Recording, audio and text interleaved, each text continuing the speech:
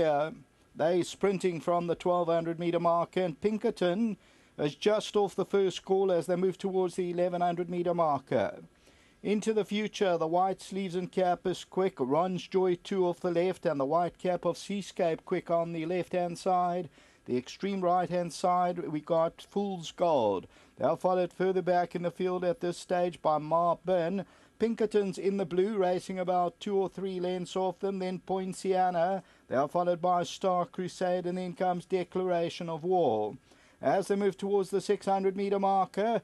And now there's four of them in line. On the left is Seascape, the white sleeves and cap into the future.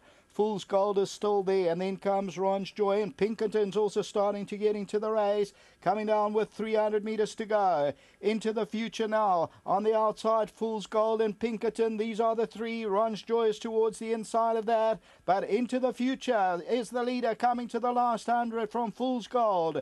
Into the future from Fool's Gold, Pinkerton goes in for a run, but into the future's running strongly and will win. Second will go to Fool's Gold, third to Pinkerton, and fourth Poinciana.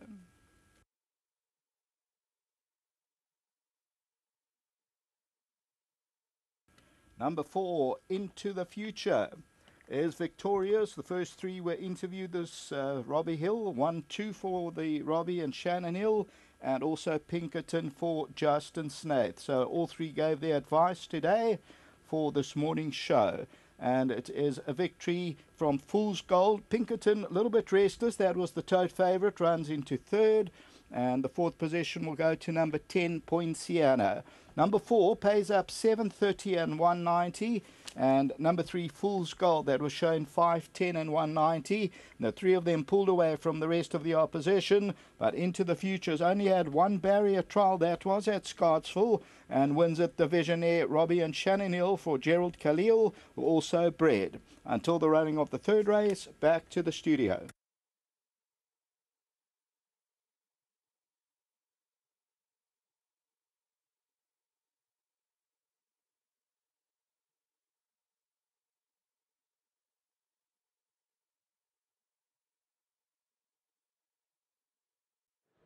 On a nice uh, result here for the stable of Robbie and Shannon Hill into the groove, uh, beating uh, number three, Fool's Gold.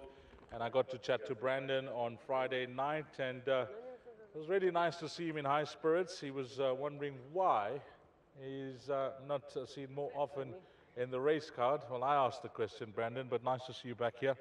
And a good win from this individual. Obviously, you know him from back home very nice win, these, um, especially in the ground in this kind of trip. He's looking for a bit extra, so phenomenal win. And thank you to Shannon and Rob for the support. When you go into a race like this with the track condition, you, you know what it is, and uh, you got a horse that you know from back home, what's the plan? Well, as I said to Shan uh, prior to the race, I mean, they either like it or they don't, so you just got to go in positive either way. And uh, we came out with a positivity, and it worked for us. At one stage, it looked like maybe three or four horses could be fighting out the finish, but at the death, you were pulling away? Yeah, it is. You know, he seemed to be going well through the 800, and, and a whole group of horses moved alongside me quite early in the, in the race. So I was quite confident after that.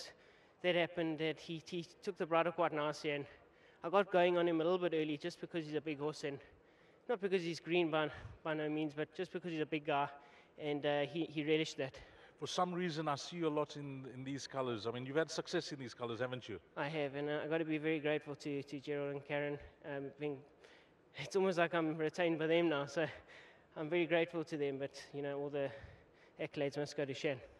Anything else from your side later on? Um, these have got a, a, small fill in the next race for, for Daryl Moore.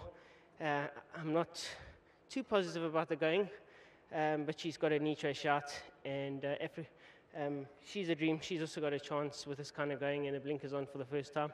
And then Warfare in the fifth. Um, he likes this kind of going. Tough field, but he'll be, he'll be trying.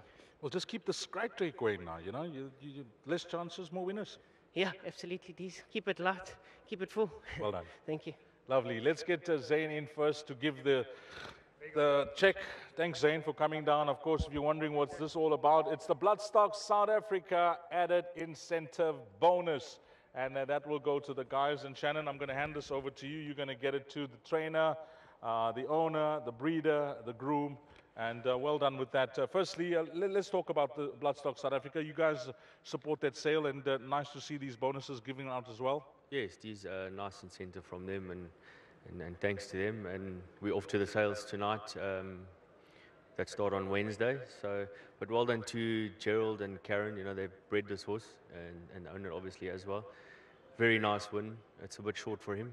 Probably needs 18 plus. So a very good win. Thanks to Brandon and to Gareth. You know they do a lot of work in the yard. And yeah, just well done to my dad and the whole team. This, uh, these colours, should I say? Am I not mistaken? It's fulfill your dream that won uh, that. Uh, one of the first million rand races here at uh, Scottsville? Yeah, she won it, uh, I think, two years ago in August, uh, also from, from that sale. Um, so, yeah, these colours have been very lucky, and, and it's just lovely to train horses for them. It's a great result for you as well, because your second horse ran a good race. Yeah, look, um, second from him uh, probably also just needed it. Um, so, we're looking forward to the season with these horses. Well, I've spoken to Gareth on air the other day. I've chatted to you off air. I gave you a call. I sent your dad a text as well. Uh, beautiful that your dad went up there with the two horses and he, and he, hung in there and he was rewarded. Yeah, look, it's not easy going up and training two horses, um, but well done to him. Um, and well done to all the owners of, of Camp. You know, it was a fantastic win. I think everybody's still on a bit of a high, but uh, lots to look forward to in the season. Talking about being on a high, I mean, your stable's on a high. You know, when we talk about just two months ago where the wind started coming in, things have just changed. Yeah, look, these um, a lot of hard work from from our team back at home. You can't do it on your own, and the wheels turned into line for us, and and and we'll enjoy it while it's there. I'm not surprised, Shannon. You got the grounding, and you're certainly delivering for your dad as well, Jan KZN. Before you leave us, anything else you can help us with? Uh, these I've only got Kilmokia left in uh, in the little feature in the six. She's got a nice galloping weight. I think she's going to be very competitive. She's thrown in the deep end there, Shannon. Yeah, look, she's in the deep end, um, but you know, I think she, if she reproduces her her, her run to Camp Ferratus, uh, I think she's a big runner. Talking about Camp Ferratus, I remember you throwing in the deep end. Was it the flamboyant? The flamboyant, yeah, that's it. Well, it could be a Kilmokia and the Scarlet Lady. Yeah, it could be. Shannon Alder, well done here. Thanks, Steve. Give our best to your dad as well, and that added incentive bonus. Uh, let's not forget that uh, from Bloodstock South Africa. If you caught this quartet, well done here. 4, 3, 9, and 10. Up next, it's the big one, the bet that we all love to catch. It's the pick six, and uh, that will begin at 14.05, 5 past 2.